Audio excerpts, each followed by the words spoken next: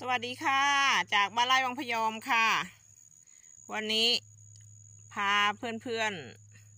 ๆ พี่ๆ น้องๆ และทุกๆ คนมาดูสมุนไพรใกล้ตัวอีกชนิดหนึ่งนะคะ ที่มีดอกสวยนะคะ นี่ค่ะ ดอกของเขาสวยมากนะคะ นี่คือ ต้นเบญจมาศป่านะคะ เป็นสมุนไพรห้ามเลือด ที่ดีที่สุด ของหลาย ๆ คนนะคะที่ใช้ อันนี้บ้านไร่วังพยอมก็ ได้ความรู้มาใหม่ ๆ ก็คือพอดีคนงานมาช่วยฟันป่านะคะ ถางป่า มีด เกิดบาดมือนะคะ เขาก็ถามบอกว่า ที่นี่มีต้นเบญจมาศป่าไหมบ้านไรวังพยองก็บอกว่ามี ก็พาเขาไปที่มีต้นเบญจมาศป่าขึ้นนะคะ เขาก็เด็ดใบนะคะ ใบเป็นแบบนี้นะคะ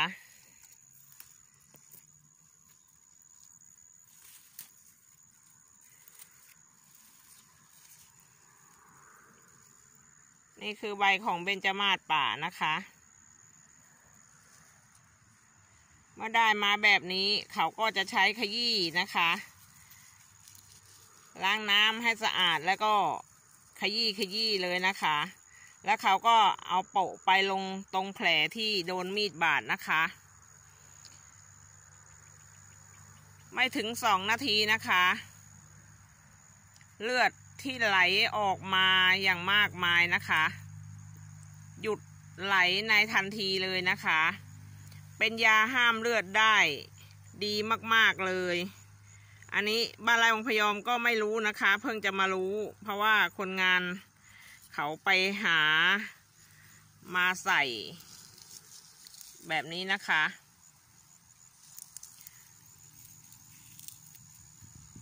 วันนี้บ้านไร่องพยอมก็เลยพามาดูว่า เวลาถึงข่าวขับขันไปป่า เมื่อเกิดอุบัติเหตุ มีดบาดหรือ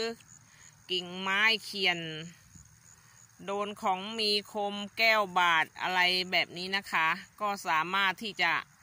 หายาสมุนไพรที่จะห้ามเลือดได้โดยเร็วไวตามป่าข้างทางก็มีนะคะสำหรับ ต้นเบญจมาศป่า ดอกแก่ของเขาก็จะฟูแบบนี้นะคะ ส่วนดอก ที่ยังเริ่มบานก็จะมีเกสรสีเหลืองกรีบสีเหลืองอ่อนๆนนะคะ วันนี้บ้านไร่วังพยอมก็มากับสาระสมุนไพรใกล้ตัว คือต้น เบญจมาศป่ามาบอกเพื่อนๆทุกๆ คนนะคะ ฝากกดติดตามกดไลค์กดแชร์เป็นกำลังใจให้บ้านไร่วงพยอมทำคลิปดีๆ ต่อไปด้วยนะคะ สวัสดีค่ะ